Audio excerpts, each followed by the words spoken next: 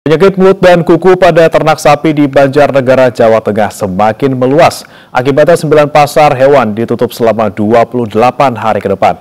Sedangkan 152 ekor sapi diisolasi karena diduga terinfeksi virus tersebut.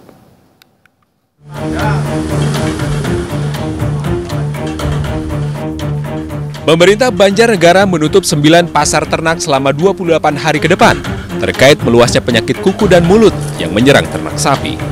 Dinas Pertanian dan Peternakan Banjarnegara mencatat dari 126 kasus PMK kini bertambah jadi 152 kasus.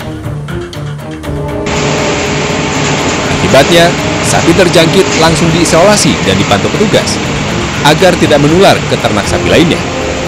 Tak hanya menular, penyakit kuku dan mulut juga mematikan jika tidak serius ditangani.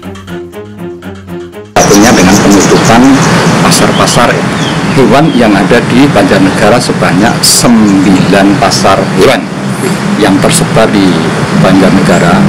Tiga di antaranya dikelola oleh pemerintah daerah dan yang enam dikelola oleh desa.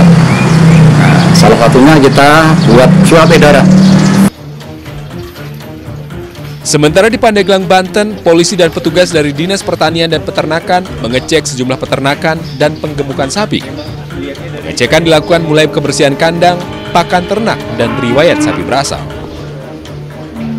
Hewan-hewan yang masuk ke Pandeglang ini berasal dari daerah yang bebas dari PMK.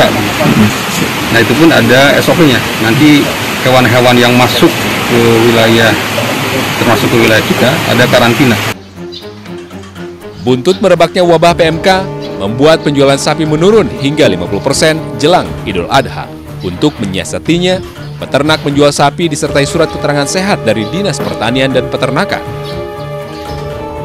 Dari Banjarnegara, Elis Novit dan dari Pandeglang, Iskandar Nasution melaporkan.